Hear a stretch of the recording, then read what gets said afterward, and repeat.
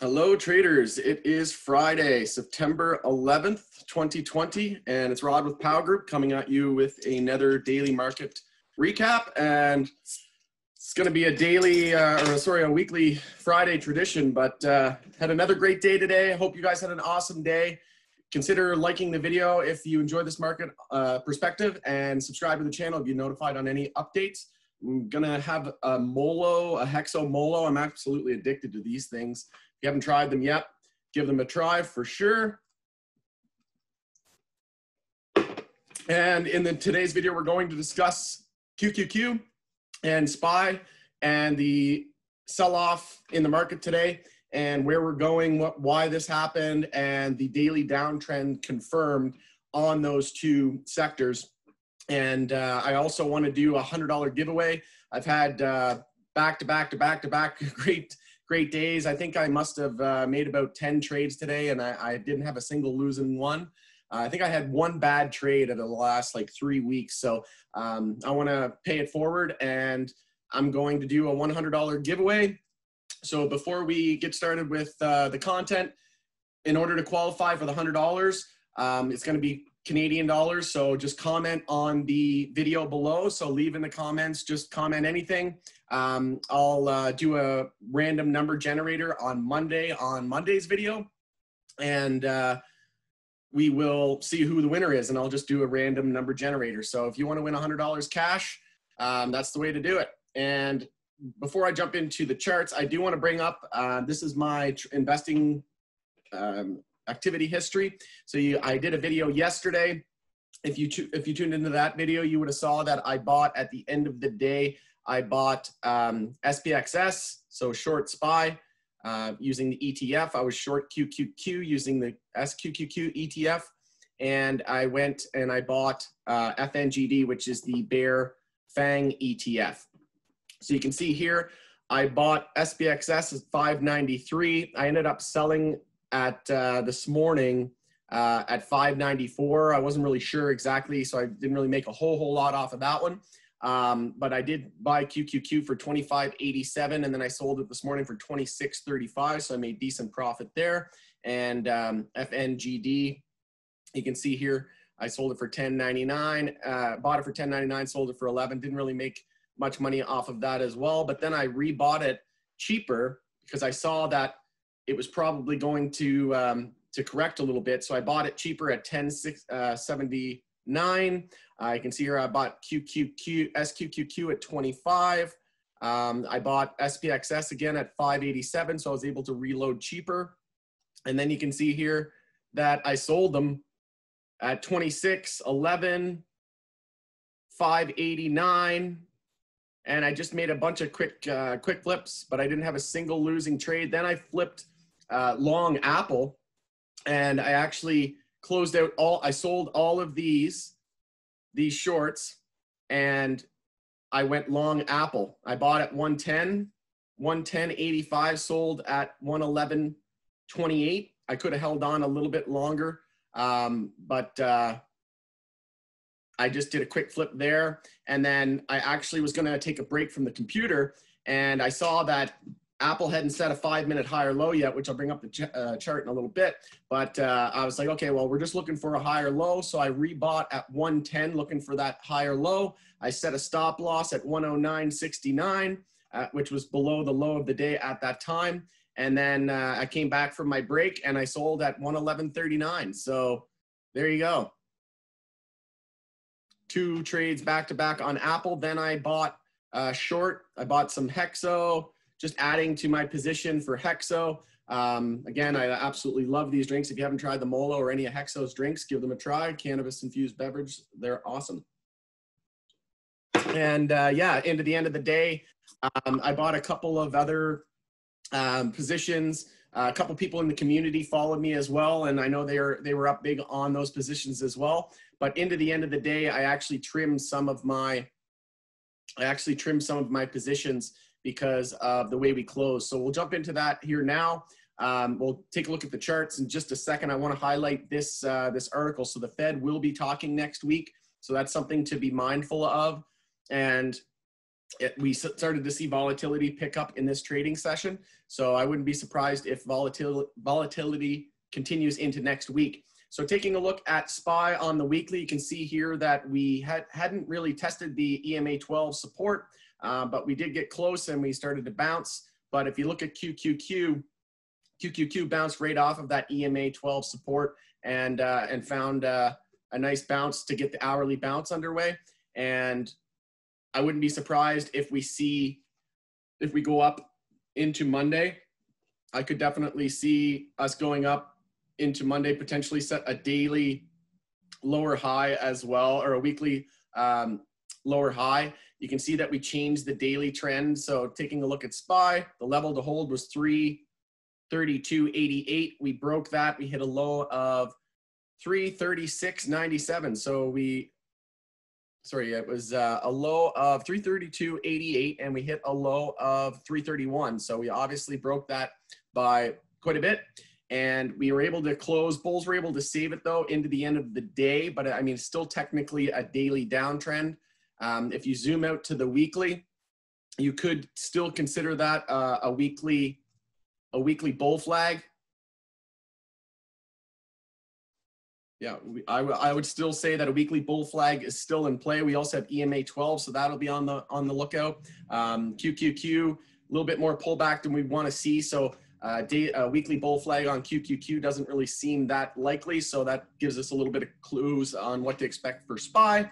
Um, but yeah, taking a look at QQQ, you see here that the level to hold on the daily was the low of 269.66 and we hit a low of 250 sorry, 266.90. So we had to hold 269.66 and we hit 266.90. But again, bulls saved it into the end of the day uh, with that hourly bounce, the oversold bounce that was underway. And we'll just look on Monday to change the hourly trend. So that's what I'm going to be watching on Monday. Um, I'll probably I'll probably switch long if we start to form an hourly higher low, depending on how we open. But again, subscribe to the channel, check the, uh, ch click the bell. You'll be notified on my future updates, and you'll be able to get a, an idea of where I uh, where I stand going into next week. So one thing I wanted to highlight um, on SPY, um, just taking a look here, we had a one minute inverse head and shoulders down here um, which gave me uh, another reason why I wanted to get out of my, um, why I wanted to go into Apple long. So I, I couldn't have picked a better time to enter that trade. And I know a lot of people think I have a crystal ball lately, but um, just been in my flow. And like I said, I've only had one bad trade in the last three weeks. Um, and you can see my trade history that I uh, that I brought up earlier. But I did want to bring up DXY. So DXY had we had an equilibrium, but we had in the and I'm looking at the one minute chart because I was because of the volatility and everything was picking up so rapidly. I, I just had to. I, I, figured that the one minute chart was giving me the most information, and uh, generally I don't really look at the charts on the one minute. But you can see here we had a one minute inverse head and shoulders on DXY, and we broke out, and then um, we were trying to form a cup and handle, but we didn't quite get there. We had to consolidate and then we blasted off here and we formed a equilibrium. If you look at it on the five minute, um, it was a five minute EQ as well. So once you, once you could see here, once we lost um, that EQ, so we, we, we were in this range right here. We had a high, low, lower high, higher, low, lower high, broke that, bearish, had massive follow through. And then you can see here we changed the trend um, bullish. And then once we broke that uh, uptrend line there on the five minute, it was uh, it was all downside from that point. And we could be setting a, uh, another five minute inverse head and shoulders here potentially. We'll have to see how the uh, futures uh, close. But um, yeah, something I wanted to highlight for you folks on DXY. And another thing that uh, they did was they started to sell SPY off today uh, right around lunchtime. So you can see that uh, the start the sell off started around 12:30 Eastern, uh, between 12 and 12:30, and once everybody got back from lunch, that was basically when the trend reversed. You can see here that we set a low, a high, higher, low, higher, high, changed the five minute trend. Um, that was another reason that I felt confident going um, long Apple.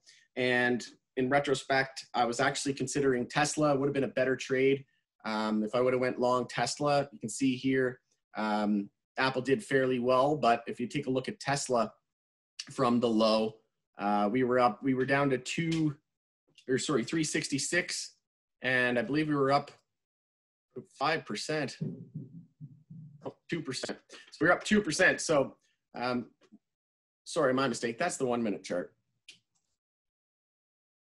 Yeah, so we we're closer to four percent uh, from the low of the day and we didn't break the we did break the low of yesterday on Tesla. That was something else that I was watching on QQQ. We broke the low of yesterday on SPY. We broke the low of the of yesterday, but on some other uh, indexes we didn't get as much follow through. Uh, Tesla was late to the party. It took a while for Tesla to um, lose its low of yesterday, but we didn't see any follow through. And if you would have played off of that support, you would have made a quick three four percent. So uh, in retrospect, I would have done things a little differently looking at that, but um, I know Tesla has been a little bipolar lately, so I, I, I tend to um, stick with, uh, with Apple um, just because it's something I'm more comfortable trading. And you can see here in SPY after hours, we're starting to trend down as well. Um, so taking a look, I want to highlight on Apple really quickly we have daily support. We had daily support at 109. So you can see here back here at uh, 109.11. We held that. We hit a low of exactly 110. So nice round psychological number. Um, usually every five dollars is a is a nice psychological number, especially when you're over around the hundred dollar mark on a stock. So we have that support. So we held that. If we would have lost that, I would have shorted QQQ and it would have been not even a question and i wouldn't even had a second thought in my mind because we had this gap to fill wouldn't be surprised on monday if we do fill that gap um, it could possibly happen it might we might ramp up uh, into monday tuesday maybe it won't happen right away but we do have a couple of gaps in the chart down at 96.30 and no daily support um, after 109 until all the way down here at 89.15. So we could easily, easily fall 14 to 20% on Apple. And again, given the fact that it's run hundreds of percent since the March lows, it's not exactly crazy to think that that could potentially happen. So taking a look at QQQ, I do want to show uh, a pattern that I was watching as well uh, toward the end of the day. It was on the five minute chart. So you could see here that we, we, we basically topped out right here around the 270 level. We, we topped, we double topped, we pulled back, triple topped actually, basically. And that's, I shorted that. I covered my shorts. So you saw that I had a couple of flips throughout the day. And then I covered my, uh, I re-shorted up here. And then at the end of the day, I sold some of my positions, um, holding about half cash, half short. And um, yeah, I, I, I wasn't 100% sure. I thought they were going to sell it off into the end of the day um, a bit more than they did. Um, so we'll have to see how things play out on Monday. But just something that uh, one observation that I had there on QQQ, and you can see we broke out, and that 270 level was still acting as as resistance there from the uh, from the triple top, and we had increasing um, bear volume on SPY to end the day. So taking a look at SPY. See here we had increasing bear volume and then we changed the five minute trend. We had increasing bear volume again. We lost that five minute uptrend. That's another reason why I was comfortable shorting. And then when, we, when I saw this increasing bull volume, I covered that short and I looked to reshort into the end of the day. I expected a sell off into the end of the day, but a little bit more extreme. Like I said, I, I, I thought they were going to definitely take advantage of fear, especially since the daily trend changed. It was uh, it wasn't exactly what I expected, a hundred percent, but um, definitely didn't take me by surprise by any means. Um, so taking a look at the SPY weekly candle. So you can see here, we're a little bit of an indecision, leaning a little bit toward bearish. We still have EMA 12 support, which I mentioned earlier. So the weekly weekly volume wasn't uh, as high as last week.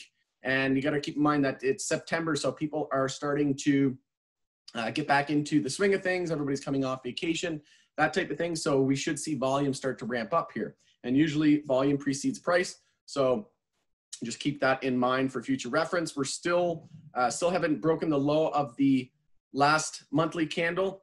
And taking a look at the close on the daily, you can see here we have a little bit of a bullish reversal candle here on the daily. Um, taking a look at QQQ, QQQ on the monthly, almost lost the low of last month. So we could potentially see some monthly consolidation here next week. Next week's going to be very important as well. But like I said, we held that support um, pretty much to the to the penny, and wouldn't be surprised if we saw a mini bounce into next week. Again, volume dropped off a little bit, a um, little bit leaning uh, bearish on the on the candle, uh, the type of candle there, and again a little bit of a bullish reversal candle um, going into the end of the day. So that's where we are with the daily and weekly closes on SPY and QQQ.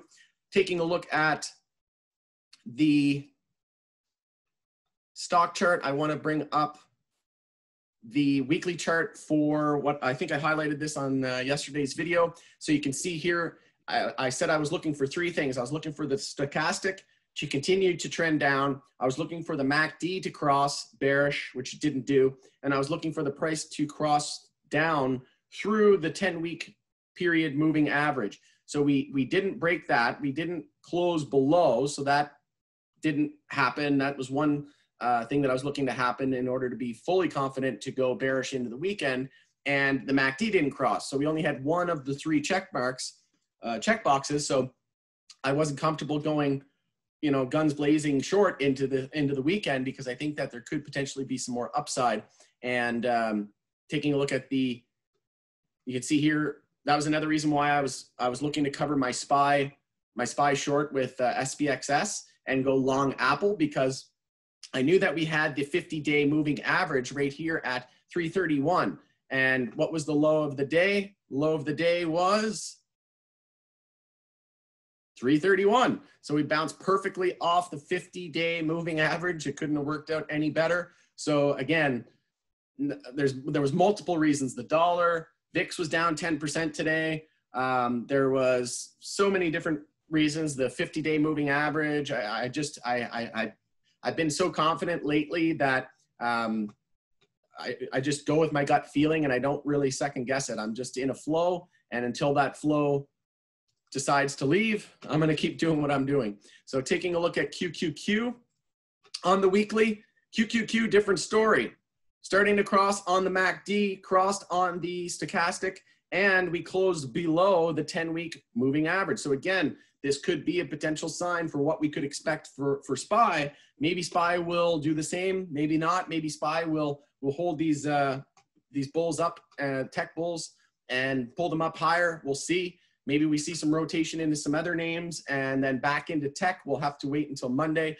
But again, check in with me on Monday. We'll do that $100 give giveaway and we'll also give you guys an update on what I expect into the start of next week. So like I said, check box number one, check number two. Didn't quite cross as much as I would like here on the MACD, but definitely, definitely comfortable going bearish on SQQQ. I have a position into the weekend, a fairly large position. Now taking a look at QQQ on the daily, you can see here that we did dip below the 50-day moving average, uh, but we closed right around it. So it was 271.38 and that was acting as resistance. If we go back here uh, toward the end of the day, 271, what did I say that was? 271.38, 271.44, we poked just above, and then we pull back. So another reason why I, when I saw that upper wick, I was comfortable shorting into the end of the day because I knew that that 50-day moving average was going to potentially act as resistance.